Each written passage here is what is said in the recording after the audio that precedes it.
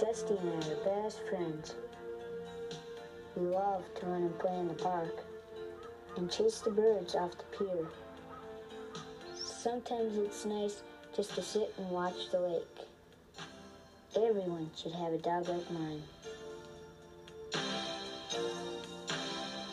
Whether it's the 4th of July,